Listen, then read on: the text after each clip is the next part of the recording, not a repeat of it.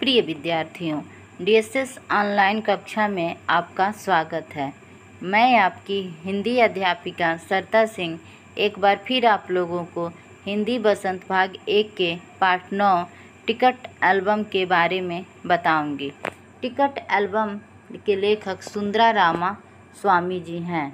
जैसा कि हम लोगों ने पिछले वीडियो में टिकट एल्बम के लेखक टिकट एल्बम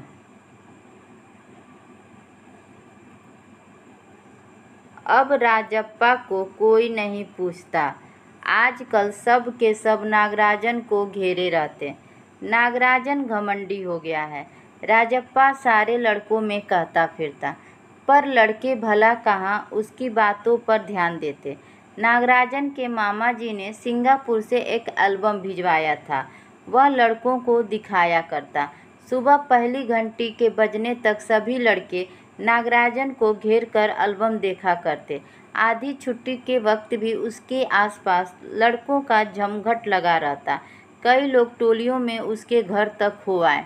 नागराजन शांतिपूर्वक सभी को अपना एल्बम दिखाता, पर किसी को हाथ नहीं लगाने देता। एल्बम को गोद में रख लेता और एक एक पन्ना पलटता। लड़के बस देखकर खुश होते। तो यहाँ जमघट। जमघट का अर्थ होता है बेटा, भीड़। तो टिकट एल्बम सुंदरा रामा स्वामी जी द्वारा लिखित एक श्रेष्ठ कहानी है।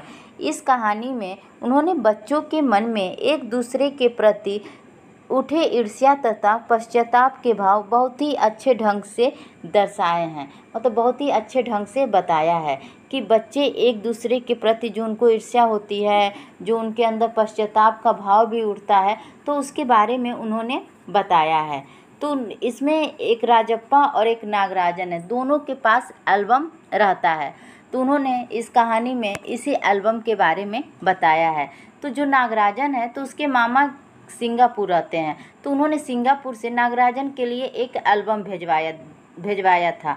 तो वो क्या करता, वो लड़कों को दिखाया करता रहता था। तो जो लड़के थे, वो नागराजन को हमेशा घेरे रहते थे और उसके एल्बम को देखने के लिए। कोई राजप्पा के एल्बम को नहीं देखना चाहता था। अब राजप्पा को कोई नहीं पूछता था। तो नागराज राजप्पा क्या सारे बच्चों से यही कहता फिरता था कि नागराजन घमंडी हो गया है। जब से उसके मामा जी ने उसको सिंगापुर से एल्बम भेजा है, तब से वो घमंडी हो गया है।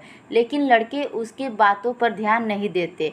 वो सिर्फ़ नागराजन के एल्बम को देखते रहते। जब तक सुबह की पहली घंटी नहीं बजती, सब के सब नागराजन को घेर कर उसके एल्बम को देखते। जब आधी छुट्टी, जब लंच टाइम होता था तो सारे बच्चे क्या करते थे? उसके पास आके भीड़ लगा लेते थे उसके एल्बम को देखने के लिए। कुछ बच्चे टोलियाँ बनाकर, कुछ बच्चे आपस में टोलियाँ बनाकर उसके घर तक चले जाते थे उस एल्बम को देखने के लिए। तो नागराजन शांतिपूर्वक सभी को अपना एल्बम दिखाता, लेकिन किसी को हाथ नहीं लगाने देता। वो क्या करता, अपने गोद में एल्बम को रखता और एक एक पन्ना को पलटता रहता जिससे लड़के देखकर खुश होते।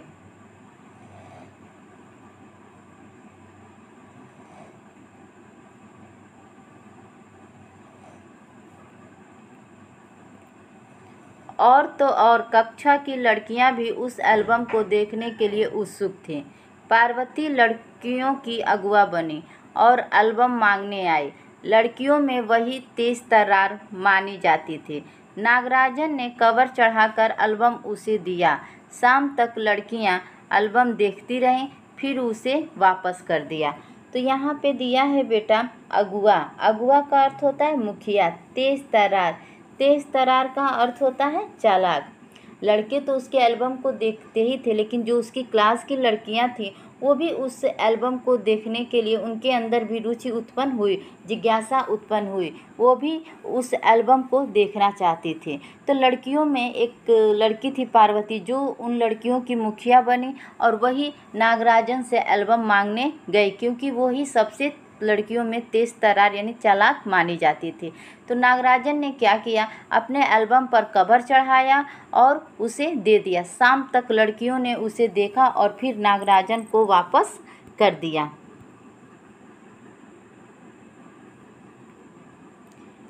अब राजप्पा के एल्बम को कोई पूछने वाला नहीं था। वाकई उसकी शान अब घट गई थी। राजप्पा के एल्बम की लड़कों में काफ़ी तारीफ़ रही थी। मधुमक्खी की तरह उसने एक एक करके टिकट जमा किए थे। उसे तो बस एक ही धुन सवार थी। सुबह आठ बजे वो घर से निकल पड़ता। टिकट जमा करने वाले सारे लड़कों के चक्कर लगाता। दो ऑस्ट्रेलिया के टिकटों के बदले एक फिनलैंड का टिकट लेता। दो पाकिस्तान के बदले एक रूस का। बस शाम, जैसे ही घर लौटता, बस्ता कोने में पटक कर अम्मा से चबेना लेकर निकर की जेब में भर लेता और खड़े खड़े खा काफ़ी पीकर निकल जाता।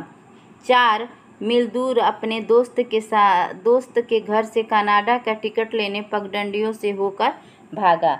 चबेना चबेना का अर्थ होता है, बेटा, भुना हुआ अनाज।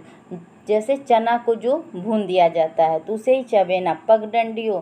पगडंडियों का अर्थ होता है, बेटा, पतला रास्ता जिस पे सिर्फ़ हम पैदल ही जा सकते हैं। तो अब है कि अब राजप्पा के एल्बम को कोई पूछने वाला नहीं था। जब से नागराजन का एल्बम आ गया, उसके मामा ने जब से नागराजन को सिंगापुर से एल्बम भेज दिया तो उसके आगे राजप्पा के एल्बम को कोई नहीं पूछता था, जिससे उसकी शान क्या हो गई थी? अब घट घट गई थी। पहले बच्चों के बीच यानी लड़कों के बीच उसके एल्बम की बहुत तारीफ़ होती थी। मधुमक्खी की तरह उसने एक एक करके टिकट जमा किए थे। जैसे मधुमक्खियाँ एक एक करके अपना छत्ता लगाती हैं, उसी प्रकार राजप्पा ने भी एक एक करके टिकट जमा किए थे। उसे बस इसी की लगन थी कि कहीं से भी मैं टिकट ले आऊँ और इस एल्बम में लगा दूँ। जब सुबह के आठ बजते थे तो वह अपने घर से निकल पड़ता था।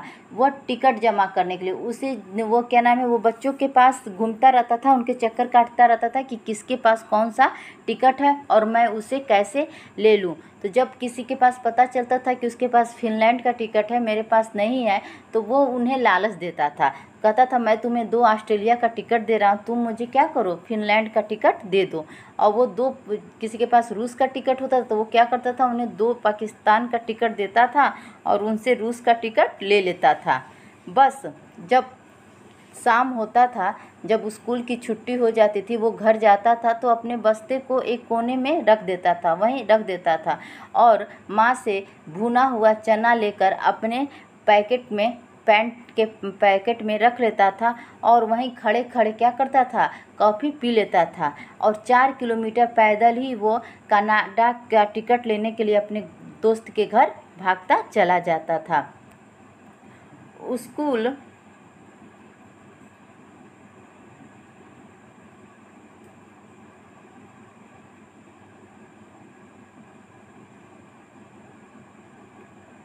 स्कूल भर में उसका एल्बम सबसे बड़ा था। सरपंच के लड़के ने उसके एल्बम को पच्चीस रुपए में ख़रीदना चाहा था, पर राजप्पा नहीं माना।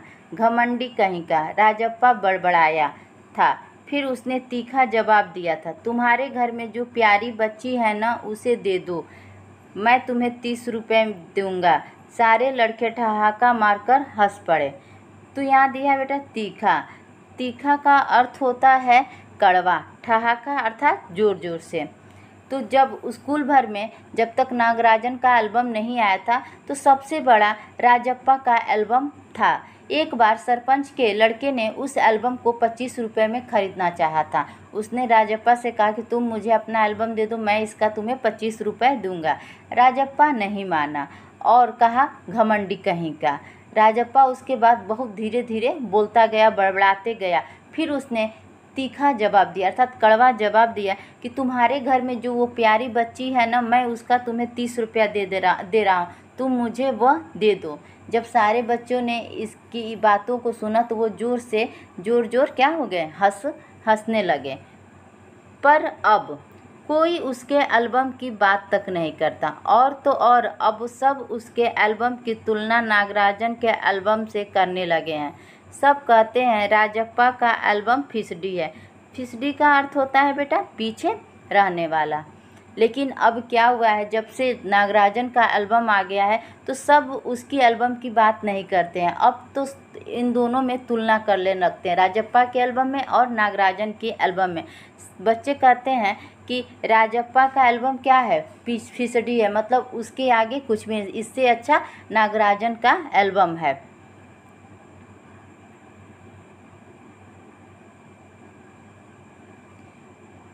पर राजप्पा ने नागराजन के एल्बम को देखने की इच्छा कभी नहीं प्रकट की।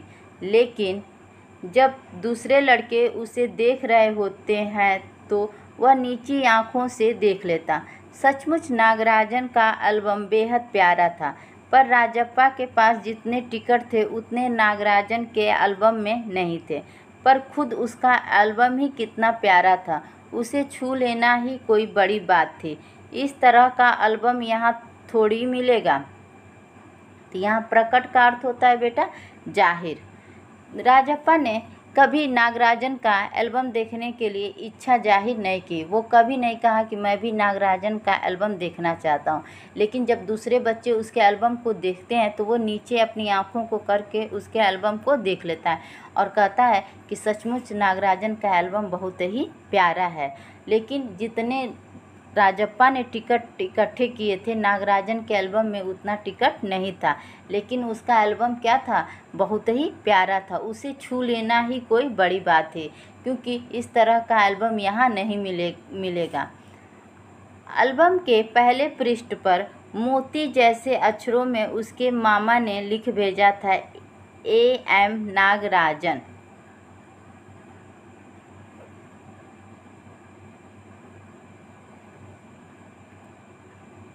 इस एल्बम को चुराने वाला बेशरम है। ऊपर लिखे नाम को कभी देखा है?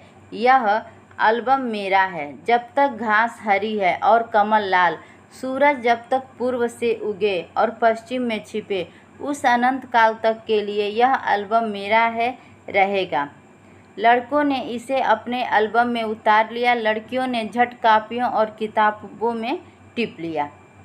तो उसके मामा जी ने जब उस एल्बम को नागराजन के पास भेजा था तो पहले ही पृष्ठ पे खूब सुंदर मोती जैसे अक्षरों में लिख भेजा था कि ए एम नागराजन। सबसे पहले नागराजन का नाम और लिखा था बहुत ही सुंदर एक वाक्य लिखा था, इस एल्बम को चुराने वाला बेशरम है।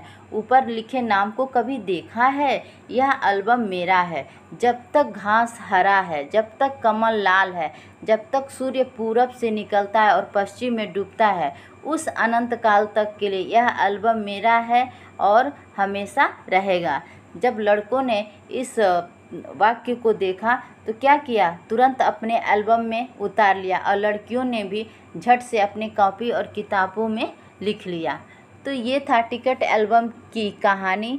आज हम इतना ही पढ़ेंगे। अगले वीडियो में हम इसके आगे के भाग को पढ़ेंगे और उसकी व्याख्या करेंगे। उम्मीद है आप लोगों को सब समझ में आया होगा। धन्यवाद।